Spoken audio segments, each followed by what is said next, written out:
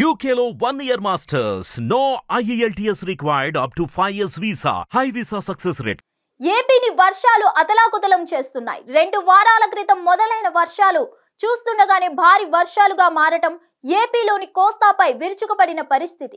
దాని నుంచి ఇప్పుడిప్పుడే కోలుకుంటున్న వేళ ఉత్తరాంధ్రకు వాన కష్టం వచ్చిన పరిస్థితి. ఇదే సమయంలో ఉభయ గోదావరి జిల్లాలకు భారీ వాన ఖాయమని చెప్పిన పరిస్థితి. దీంతో ఏ ప్రాంతంలో ఎప్పుడు వరద ముంచేస్తుందన్న భయాందోళనలో ప్రజలు వణికిపోతున్నారు.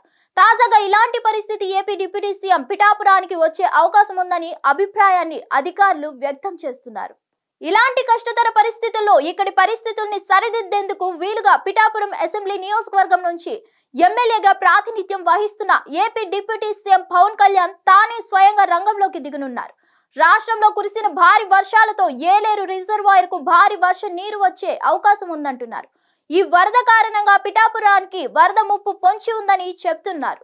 రిజర్వాయర్ గరిష్ట సామర్థ్యం ఇరవై నాలుగు టీఎంసీలు కాగా ఇప్పటికే ఇరవై టీఎంసీల వరద నీరు వచ్చి చేరినట్లు చెప్పారు. ఈ నేపథ్యంలో ముందస్తు చర్యలను మొదలు పెట్టాలని అధికారులను కోరారు. అదే సమయంలో చెరువులకు గండ్లు పడకుండా జాగ్రత్తలు తీసుకోవాలని సీఎం సంబంధిత అధికారులు సూచన చేశారు. ఈ నేపథ్యంలో పిఠాపురం వ్యవహారాల్ని తానే దగ్గరుండి చూసుకోవడానికి వీలుగా పవన్ కళ్యాణ్ డిసైడ్ అయ్యారు. మరోవైపు కాకినాడ కలెక్టర్తో టెలికాన్ఫరెన్స్ను నిర్వహించిన పవన్ పలు సూచనలు చేశారు. పిఠాపురం నియోజకవర్గంలోని జగనన్న కాలనీ సూరంపేట కాలనీ కోలంక మాదాపురం నవఖండ్రవాడ ప్రాంతాలకు వరద ముప్పు ఉందన్న వాదన నేపథ్యంలో అధికారులను అప్రమత్తం చేశారు. ఏలూరు వరద ముప్పు నేపథ్యంలో తాను ప్రాతినిధ్యం వహించే నియోజకవర్గంలో పరిస్థితుల్ని తానే స్వయంగా తెలుసుకోవాలని పవన్ ఫిక్స్ అయ్యారు.